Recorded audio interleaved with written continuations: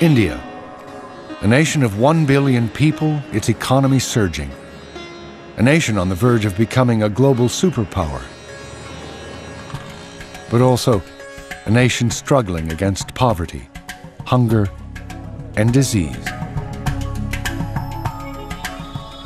The Polio Plus Committee of Rotary International has made India a prime target in its campaign to eradicate polio worldwide. The nation's Rotary clubs, more than 2,500 strong, have joined the battle and helped cut the rate of infection by more than 99%. Now, as victory appears within reach, the stakes have never been higher, nor the challenge greater. If polio is not eradicated, it'll come back as strongly as it, as it ever has in the past. No child anywhere in the world will be safe.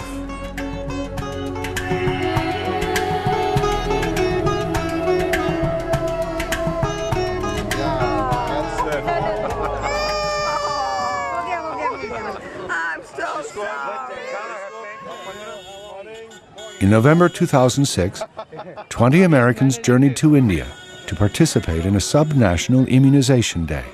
My wife Charlene said one day, We've given a lot of money, our district has, but we've never seen this thing and we've never been there. They arrived at a time of crisis. We've uh, just suffered a little setback. I would not call it a huge setback. In 2005, only 66 confirmed cases of polio had been reported nationwide. India seemed on the brink of becoming polio free. But in the first 11 months of 2006, the number of new cases jumped almost tenfold to 522.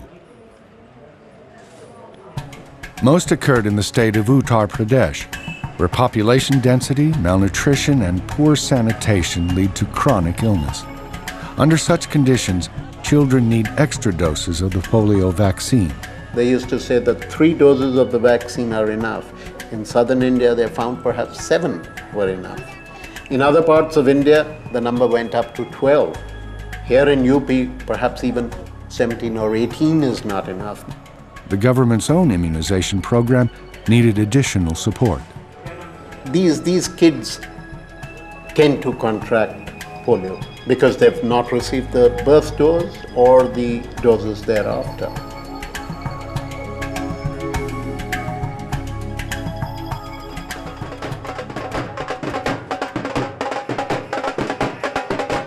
So, on November 12th, the India National Polio Plus Committee helped stage the year's eighth immunization day.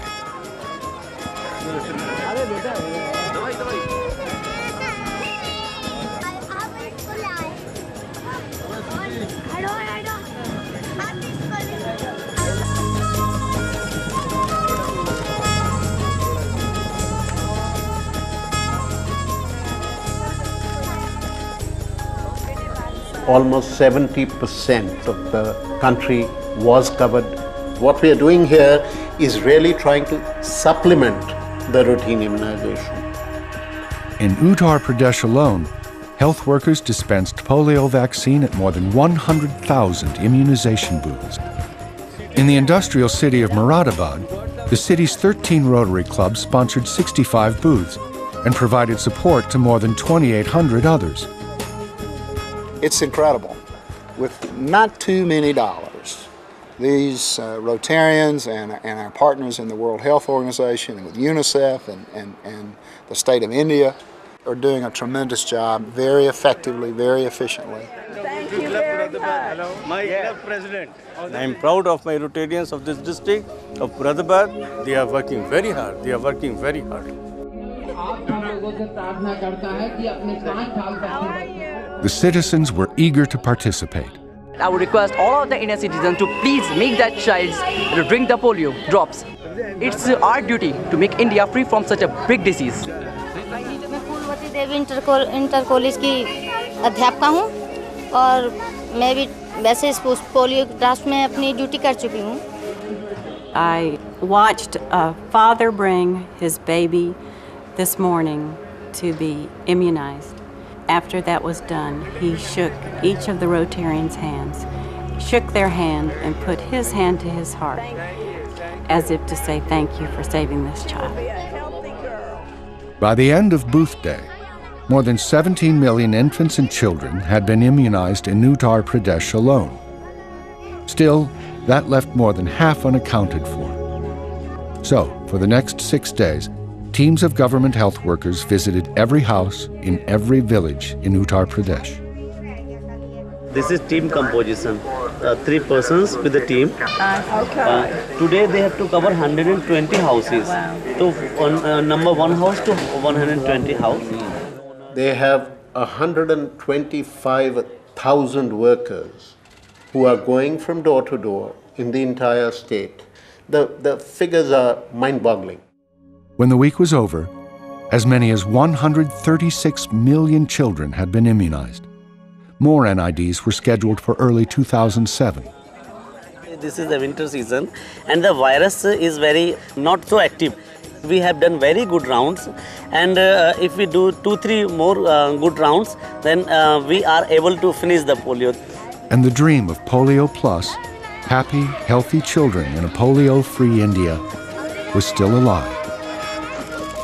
Well, one thing we hope to do on this trip is to be able to go back and tell other Rotarians how close we are, really, to finishing this task.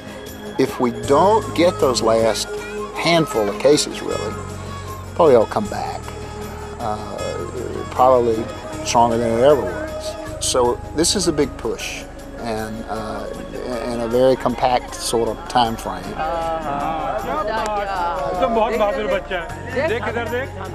99% of the job is done.